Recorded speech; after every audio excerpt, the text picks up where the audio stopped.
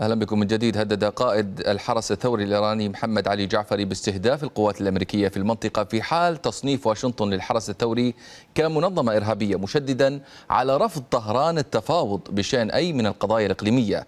يأتي ذلك في وقت رجحت مصادر أمريكية أن يشدد الرئيس دونالد ترامب خلال أيام من العقوبات على إيران بما فيها تصنيف الحرس الثوري كمنظمة إرهابية. ترقب أعلان الرئيس الأمريكي استراتيجيته الجديدة للتعاطي مع طهران.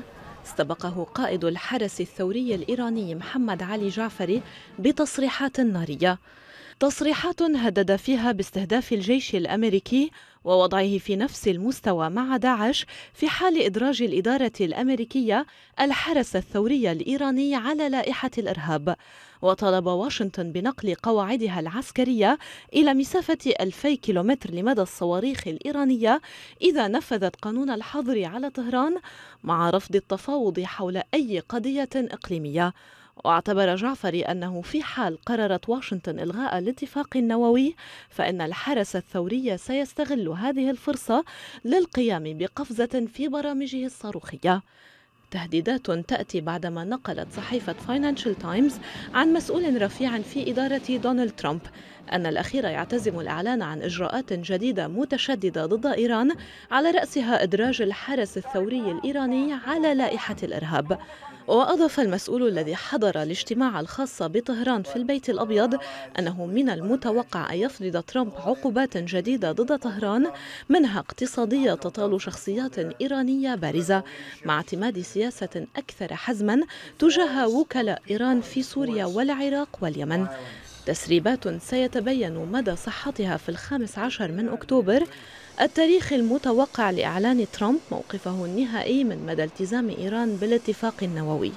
وفي حال إعلان الرئيس الأمريكي عدم التزام طهران به فهو بذلك يضع مصير الأخير في يد الكونغرس الذي سيتعين عليه اتخاذ قرار في غضون ستين يوما بشأن فرض عقوبات جديدة على إيران على خلفية برنامجها النووي.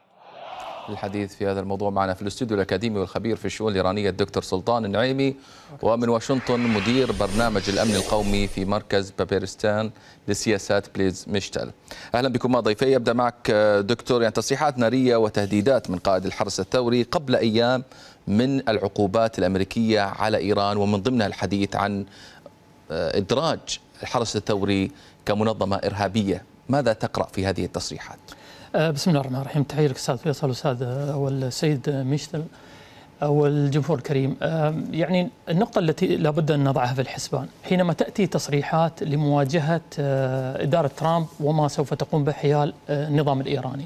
فإذا كانت التصريحات قادمة من الدبلوماسية ستأخذ السياق السياسي بالإضافة إلى استغلال الجانب الاقتصادي فيما يتعلق بالدول الأخرى لمواجهة إدارة ترامب.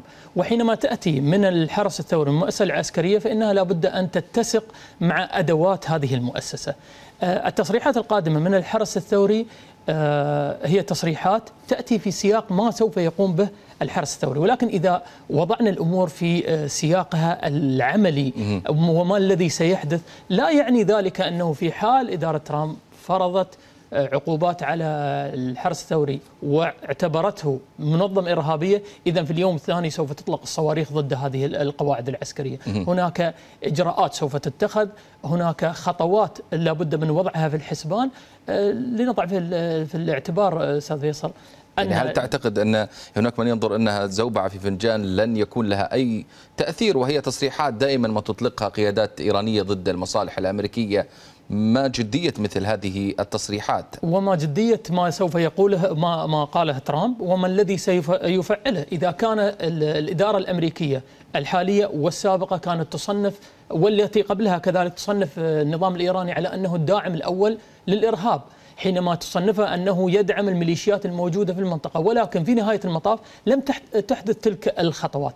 هناك لننتظر حتى يأتي ترامب ويكون تصريحه ولكن هناك بعض المؤشرات تشير إلى أنه سوف يتم استخدام بعض الأدوات فيما يتعلق بفرض العقوبات على الميليشيات المحيطة أو الداعمة للنظام الإيراني، النقطة المهمة اللي أريد أشير لها هنا أستاذ فيصل الدار الأمريكية فرضت عقوبات واتهمت آه، حزب الله اللبناني بأنه منظمة إرهابية. مم. التطبيق العملي لهذا الأمر ما الذي وجدناه؟ هل هناك بالفعل تطبيق عملي لذلك الأمر؟ تخيل هو مجرد حزب الله ولكن كيف تأتي إلى من يدعم حزب الله والحرس الثوري، فحتى لو فرض أو اعتبر منظمة إرهابية، أين تلك الخطوات التي ستتخذ؟ هناك اجراءات كثيرة منها الاقتصادية وغيرها وعقوبات على الأفراد التي فرضها آه، فرضتها إدارة ترامب في إطلاق الصواريخ ولكن ماذا بعد هذا ال- الذي سوف لكن الحرس الثوري لديه الأدوات في حال بالفعل تضرر تضرر كبير من ذلك أن يستخدم هذه الأدوات والكروت في المنطقة وهو ما دائما يتحدث عنه. هذه المفاوضات لا تعني شيء وهو دائما يلقي اللوم على حسن روحاني وإدارته. سيد بليز أهلا بك. يعني كيف تستقبل الإدارة الأمريكية هذه التصريحات وبحسب حديث ضيفي هنا الدكتور سلطان إلى أي درجة نحن بالفعل أمام عقوبات آه، تفرض وتنعكس على انتهاكات وممارسات الحرس الثوري في المنطقة؟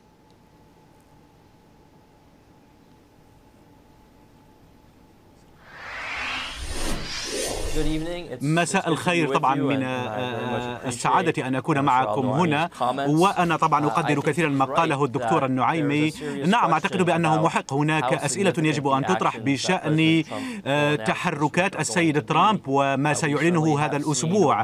طبعا لقد رأينا خلال العوام الخمسة الماضية بأن إيران استطاعت أن تقوم بكل ما تريده في الشرق الأوسط ولم يكن هناك أي ضغط من قبل واشنطن عليها إذا العديد منا سينتظرون الإعلان الأسبوع المقبل ويأملون أن يكون ردا قويا آه، وأقوى مما كان في السابق. وأنا طبعا لدي أسبابي للتفاؤل. ففكرة تعيين آه، الحرس الثوري كمنظمة إرهابية هو شيء. الرئيس ترامب مفوض لفعله من الكونغرس. فالعقوبات الأخيرة التي فرضت على إيران والتي مررها الكونغرس ضد إيران آه، خلال الصيف قالت بأن الرئيس ترامب عليه أن يعين الحرس الثوري كمنظمة إرهابية قبل نهاية أكتوبر. عليه أن يقوم بذلك. هذا تفويض. إذا أعتقد بأن هذا سيكون جزءا من إعلانه سيقول هذا الأسبوع المقبل وسيعتبر ال- الحرس الثوري منظمة إرهابية. ولكن السؤال هو بمدى هذه العقوبات؟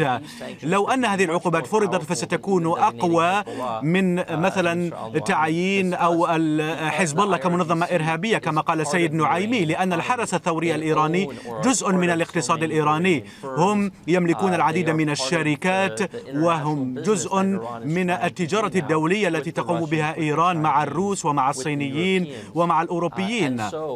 إذا لو أن هذه العقوبات كانت قوية آه، ويقال لهم لن يسمح لكم بتداول أو الاتجار مع أي شركة حتى ولو امتلكها بجزء صغير منها امتلكه الحرس الثوري فسنرى العديد من الصفقات التي تخفق التجارية. وطبعا هذا سيضر بوينغ مثلا آه، شركة الطيران آه، لتبيع مثلا آه، شركة آه، طائرات إلى آه، آه، شركة الخطوط الإيرانية وتكون هناك العديد كما قلت من الاتفاقات الاتفاقيات التجارية وهذا سيضر كثيرا الاقتصاد الإيراني ولذلك رأينا هذا التهديد وهذا هذه اللهجة التهديدية من الحرس الثوري. وأنا أتفق طبعا مع السيد النعيمي آه، بأننا طبعا لا أعتقد بأننا سنرى الرد من الحرس الثوري الإيراني الذي وصفوه. بالتأكيد إيران طبعا استهدفت مثلا جنودا أمريكيين من قبل. أثناء حرب العراق ولكنها فعلت ذلك من خلال ميليشيات تابعة لها وليس بطريقة مباشرة عن طريق الحرس الثوري. وأظن بأن هذا سيبقى على حاله. لو أن إيران مثلا إذا كانت تفوز في في العراق وسوريا إذا لم يتغير أي شيء فإن إيران ستستطيع أن تربط طهران وبيروت بخط واحد وسيكون لديها طبعا ممر من الخليج العربي إلى البحر المتوسط. وأعتقد بأن ربما الشيء الذي لا يرغب فيه الإيرانيون نعم، هو أن يواجهوا الأمريكيين مباشرة من خلال نزاع مسلح. إذا أعتقد بأنه سيكون هناك رد ولكن سيكون من خلال ميليشيات من حزب الله وغيرها ولن يكون ردا مباشرا ولن يكون قويا كثيرا حتى يجعل الرئيس ترامب يبعث قوات هناك والجيش هناك ليحارب الحرس الثوري مباشرة. تحدث السيد بليز عن الفارق بين حزب الله والحرس الثوري الذي آه، يدير كافة مفاصل الدولة ويمثل هو محور الاقتصاد الإيراني بهذه السيطرة على كل مفاصل الدولة. يعني أي عقوبات دكتور كما أشار سيد بليز ستكون لها أثر آه، فعلي ومباشر على تحركات الحرس الثوري خاصة وأنه مرتبط بهذا الاقتصاد. أود أن أستمع إلى رأيك. أه، يعني أستاذ فيصل لو رجعنا بالتاريخ ونتعلم من ما كان يقوم به النظام الإيراني في بالنسبة للعقوبات كان هناك عقوبات فرضت عقوبات أممية وتعايش معها النظام الإيراني وكان هناك التفاف على العقوبات ولكن العقوبات التي كانت مؤثرة بالفعل تلك العقوبة العقوبات الأحادية القادمة من أه، الولايات المتحدة الأمريكية ولكنها قوتها في تأثيرها أقوى حتى من العقوبات الدولية ما الذي حصل؟ كانت الولايات المتحدة خيرت الدول ما بين التعامل مع الولايات المتحدة أو التعامل مع النظام الإيراني. ففرضت عقوبات على النفط فبدأت الدول في إنقاص آه، استيرادها من النفط وعلى التحويلات المالية. فإذا كنا نتحدث هنا بحق أن الإدارة الأمريكية مجدة في مسألة فرض عقوبات قوية على الحرس الثوري.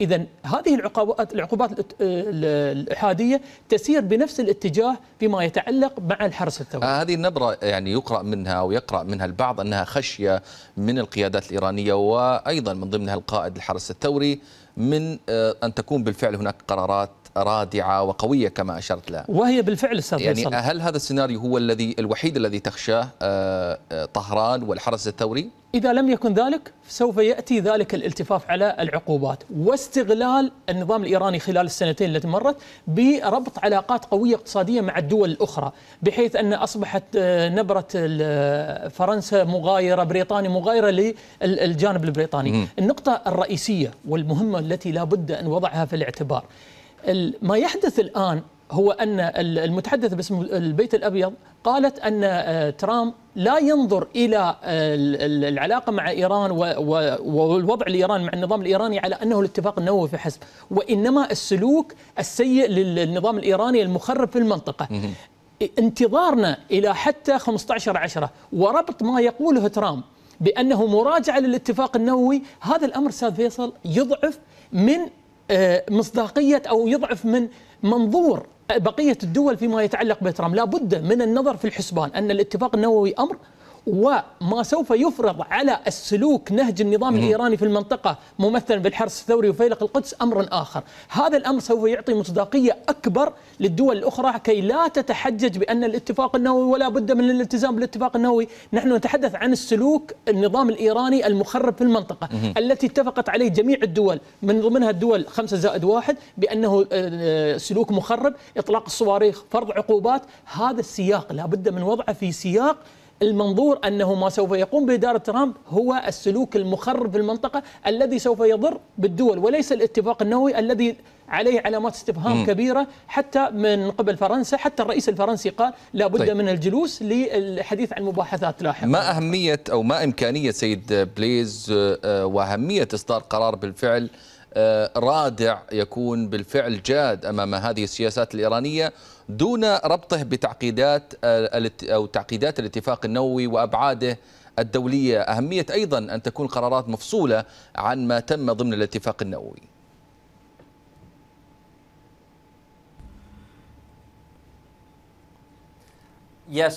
نعم أعتقد بأنه من المهم جدا آه، مهما آه، آه، سواء أو أيا ما كان سيعلنه الرئيس ترامب لإعادة تقييم مثلا الاتفاق فإن ما سيحدث بالنسبة لإيران هو الرئيس ترامب ربما سيقول إن الاتفاق النووي سيء وسننهي هذا الاتفاق وهذا هي نهاية المطاف. إذا إيران ستقول نحن الأخيار هنا وقمنا بكل شيء والتزمنا بالاتفاق إنها الولايات المتحدة المتحدة التي هي سيئة وليست خيرة ولم تلتزم بهذا الاتفاق الذي وقعت عليه.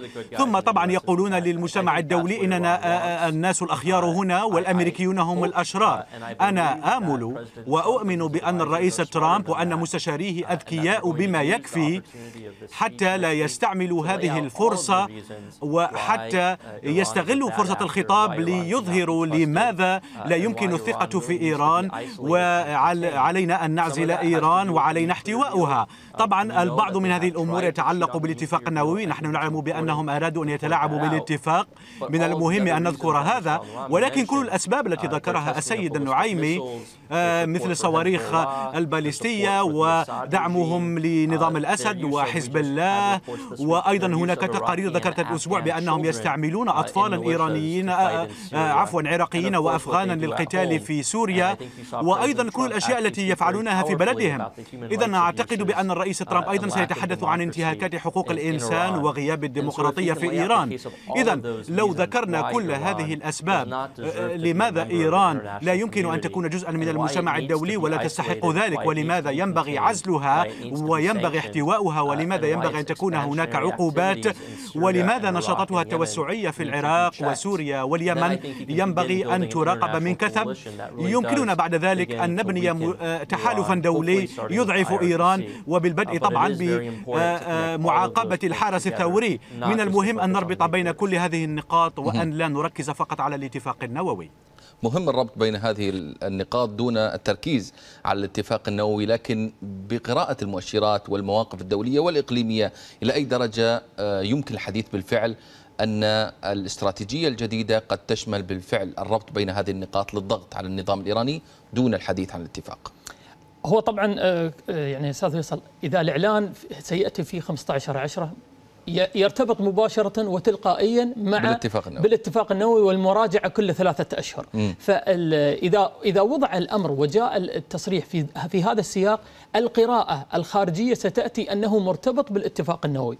نحن نتحدث عن الاتفاق النووي هنا والإدارة الأمريكية حتى الإدارة الأمريكية السابقة في, في أوباما كانت تعترف أن الاتفاق النووي ليس اتفاق مثالي للوصول إلى إلى حل وسلم في المنطقة. وهم كانوا يقولون مباشرة إن بعد 15 سنة سوف تعود إيران كما كان النظام الإيراني للتخصيب وغيره. فإشكاليات الاتفاق النووي موجودة.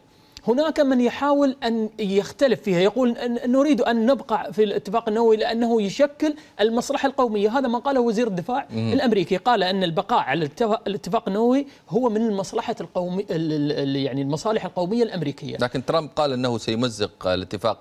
التعقيدات الدولية إلى أي درجة تجعله يعيد حساباته في مثل تلك التصريحات. هذا هنا تبقى النقطة أستاذ فيصل. إذا كان الحديث فقط عن الاتفاق النووي سوف تكون هناك معارضة حتى من الإدارة الأمريكية ذاتها ما قاله وزير م. وزير الدفاع الأمريكي. ولكن نعود لوزير الدفاع الأمريكي ونقول أنك قلت بلسانك أن إيران تشكل الداعم الأول للإرهاب في المنطقة وأن سلوكها مزعزع في البحرين في اليمن في العراق وسوريا وغيرها.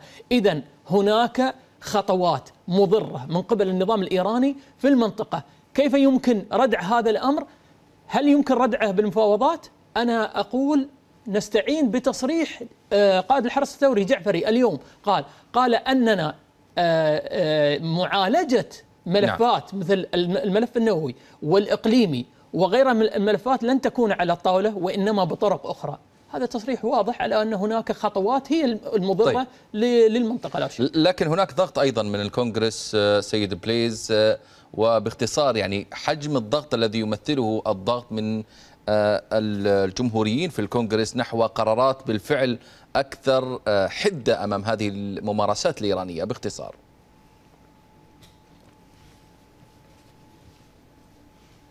Yes. أعتقد أنه من المهم جدا أن نفهم بأن لو أن الرئيس ترامب أعلن بأنه لن ينزع الثقة في الخامس عشر من أكتوبر فهذا ليس نهاية طبعا الاتفاق. هذا فقط سيخلق فرصة لأن يمرر الكونغرس ربما العقوبات القديمة التي كانت في الماضي وأن يعيدها مرة أخرى. إذا فعل الكونغرس ذلك مرة أخرى فطبعا الاتفاق سينتهي لا محالة. لا أعتقد بأن الكونغرس سيقوم بذلك. لقد سمعنا السيناتور توم كوتن وهو طبعا معارض كثيرا لإيران قال بأنه لا يعتقد بأن الوقت قد حان لفرض عقوبات الآن. إذا الاستراتيجية ينبغي أن تكون الكونغرس مستعد لفرض عقوبات ما لم تغيروا طبعا معاملتكم أو سلوككم في المنطقة يا إيران. إذا علينا أن نحصل على تنازل أكثر من إيران ولكن هل هذا سيكفي؟ أنا لا أعرف ولكن لا أعتقد بأن الكونغرس سيتحرك الآن. أختتم معك ما إمكانية تغيير أو ما الخطوات الواجبة لتغيير السلوك الإيراني تجاه المنطقة. عقوبات سابقة لم تغير من هذه السياسات استمرت حتى تجاربها الصاروخية. دكتور.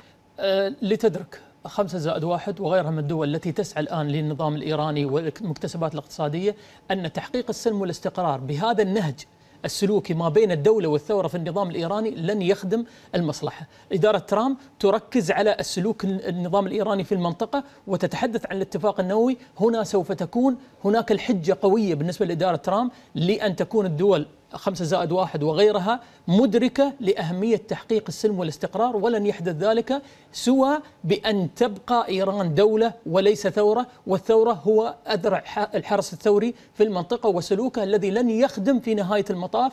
مصالح هذه الدول التي دائما ما تخاف من الاستثمار في إيران والسبب الثورة وليس الدولة. ترجمة الأقوال إلى أفعال حقيقية في ظل الدعم الإقليمي ضد ممارسات آه، آه، إيران. كيف يمكن أن يترجم؟ على دول دول الخليج أتحدث ودول المنطقة أن يكون لديها ملف جاهز لعرض كل الانتهاكات الإيرانية في جميع المحافل ولا ننتظر فقط إدارة ترامب لا بد أن تكون نحن الدول المتضررة من السلوك الإيراني في المنطقة إذا لا بد أن تكون لدينا خطوات ليس لمعاداة النظام الإيراني وشعب الذين كله كل احترام وتقدير ولكن للتعامل ما بين دولة ودولة وليس أن يذهب النظام الإيراني إلى أوروبا لكي يظهر وجه الدولة ويأتي للمنطقة ليظهر آه، وجه الثورة ممثل في الحرس الثوري الذي يقول جعفري من جديد نعم. أنه يريد أن لا يريد المفاوضات وإنما سلوك آخر المضر لنا وللدول الغربية لا شك. أشكرك دكتور سلطان النعيمي الخبير في الشؤون الإيرانية. شكرا جزيلا لك وشكر موصول لضيفي من واشنطن بليز ميشتل مدير برنامج الأمن القومي في مركز بيبار تيسان للسياسات. شكرا جزيلا لكما مشاركة هذا الحوار. إذا مشاهدينا مساء انتهى وغدا مساء جديد وملفات أخرى. نلقاكم على خير.